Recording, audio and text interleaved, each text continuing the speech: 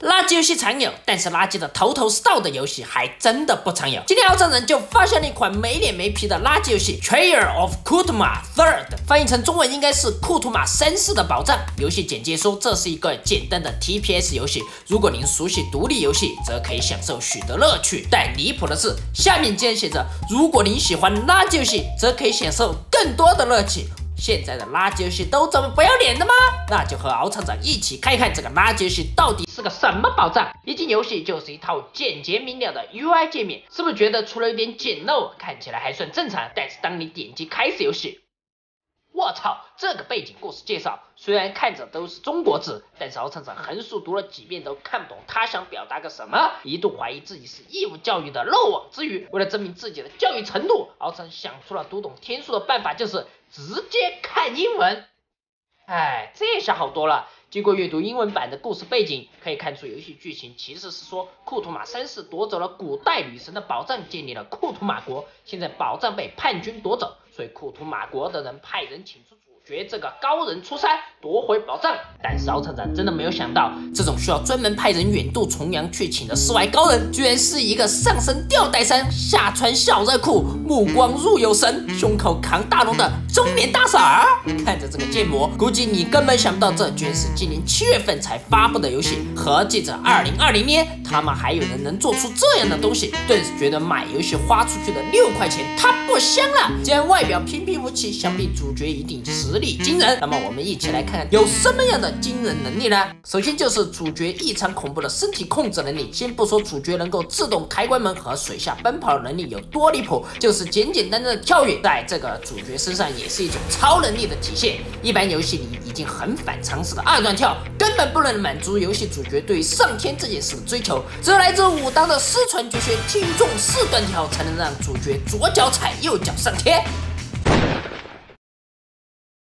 是只有这些显然不够。游戏的目标既然是平定叛乱、夺取宝藏，主角肯定需要有一定的攻击能力。我们可以看到，只穿背心的主角根本没有任何武器。难道我们的主角是一位拳皇？不不不！当你按照系统提示按下一键后，主角居然就能运用体内的真气之力，凭空幻化出一把 AWM。这招。这就是传说中的斗气化枪。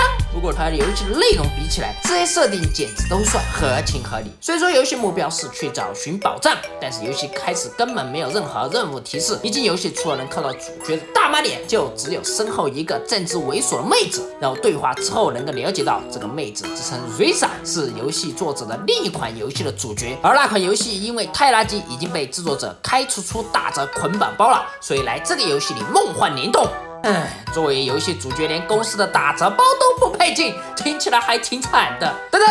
尼玛的，这和老子玩的游戏主线有半毛钱关系啊！你这是夹带私货。既然这个不是主线 NPC，那么真人就只能先四处找找线索。终于闲逛到家门口之后，发现了库图马国派来的特使。我去，你管这叫神木？这怕不是从学动画三年系列里面跑出来半成品，完美诠释了什么叫审美无下限。这位特使在重复了一遍背景剧情后，就邀请玩家亲自驾驶飞机赶往库图马夺回宝藏。而前面这个就是要驾驶的。飞机，哎，飞机可以说是奥山上最喜欢的东西之一了，尤其这种带喷射的，既还有二次元头像的飞机，不仅快慢自由控制，还能一飞冲天。看看这蓝天，如果真的能亲自驾驶翱翔，我就给这个游戏一个。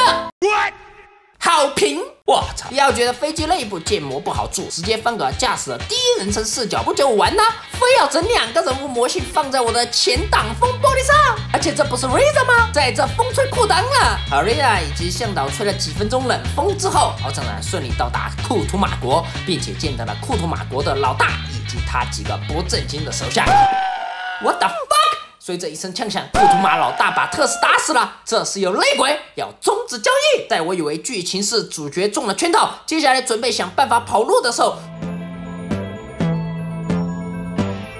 突然老大带着下属来了一段坟头蹦迪的集体尬舞。不是你们跳不跳舞不要紧，能不能不要拉着我一起跳？而且前面的序章剧情连个 BGM 都没有，让我一度怀疑我是不是聋了。现在又突然载歌载舞，神经病啊！在练习完唱跳之后，库图马老大表示这只是他们内部出了一点小问题，不用太在意。然后他会让秘书给玩家介绍宝藏情况。OK，听起来奥厂长终于可以开始寻找宝藏了。哎，等等，你刚刚不是被老大干掉了吗？为什么又他妈的活了？难不成你就是库图马国的克隆人？不过话说回来，其实这游戏里的宝藏就是五张没什么卵用的卡片，而且大部分获取方法也非常简单，无非就是射断桥跳上大楼，和一个弱智僵尸对话，或者是跑到没有普通居民的村子，干掉几个同一个娘胎里出来的叛军喽啰，就能莫名其妙拿到。反正搞了半天都不知道这游戏是要玩个什么鸟玩意儿。你们这些怪死就死，一定要喊那么大声吗？然而这些小怪都还算正常，过分的是厂长竟然遇到了 BOSS 战，然后才真正看懂了这个游戏的核心思想。作者通过这两个 BOSS，竟然传达出一套足以推动游戏产业发展的理论。第一个是一只兔子，也是一位游戏界的哲学家。在开战之前，他会诠释对游戏制作理解，其中包括了核心思想是垃圾游戏的存在。不正是为了衬托好游戏的优秀吗？我操，属实大师级理解，既为自己做出这么一个东西找到了合理的解释，又为未来的游戏发展道路点明了方向。但是作为一个 boss，这个兔子的实力就非常垃圾了，除了像个暴皮龙一样蹦蹦跳跳，几乎没有任何攻击手段了。而且我一枪下去，这爆炸效果就大的离谱，在翱翔着猛烈的炮火之下，没打一会儿，兔哲学家就被顺利送上西天。前面说话这么屌，就这。而另一个 boss 就是之前出现在家里那位 Reza。前面搭乘飞机的时候，可以看见他随主角一同来到了库图马国。但是万万没想到啊，到这里之后，他居然放飞自我，与几个彪形大汉正身为王，搞起了奇怪的 cos。只要你一靠近他，立马就被拉入他的剧情动画。这五毛光效把老子眼睛都闪瞎了。然后通过对话，你会得知他来到这个游戏是因为他对自己当游戏主角很失败这件事依旧耿耿于怀，于是便在新游戏里一边吐槽设计师在自己身上做出无数 bug，一边给自己换了个新的面部贴图。但是你他妈整容好歹有好的方向搞，这明明更丑了好吗？而且为什么你要来这个游戏找制作啊？这个 boss 打起来也很令人迷惑。虽然他身上环绕着五毛特效，但攻击手段却只有使用大剑四级爆人菊花。我们都知道剑一般是铁做的，而铁遇上水就会生锈，用来搞这种活动不安全也不卫生。于是厂长只能勉为其难的用 AWM 把他干掉了。把他击败之后，他会高喊人生无憾，然后灰飞烟灭。所以他这一出想要告诉我们什么？那就是如果你觉得一款游戏垃圾，你就要做一款比它更垃圾的游戏来进行衬托，这才能人生无憾。在轻松解决两个 boss 之后，五张卡片也全部集齐，游戏主线也算是完成了。但是没等敖成长认真研究卡片，游戏直接转到通关剧情。在库图马老大和他手下见证下，主角成功的交出了宝藏，并收到了报酬。库图马人民由衷感谢。不过你以为这就完了？这游戏垃圾归垃圾，还做得有始有终。上交宝藏之后，老大要求主角在回家的路上顺带追击叛军逃跑的舰队，并把他们都击沉。哦，这游戏可牛逼坏了，居然集合了开飞机、打手枪、追舰队。没想到我玩个六块钱的垃圾游戏，还能有这样的游戏体验。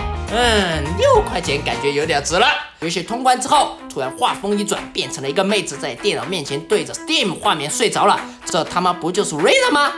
哎，所以你想和我说这游戏是个梦，还是你想说做垃圾游戏为了让优秀的游戏更加优秀，所以做了一个垃圾游戏来证明垃圾游戏有存在的必要？这个游戏简直就是方法论和务实主义的集合体。虽然是垃圾游戏的一小步，却是游戏行业发展的一大步啊！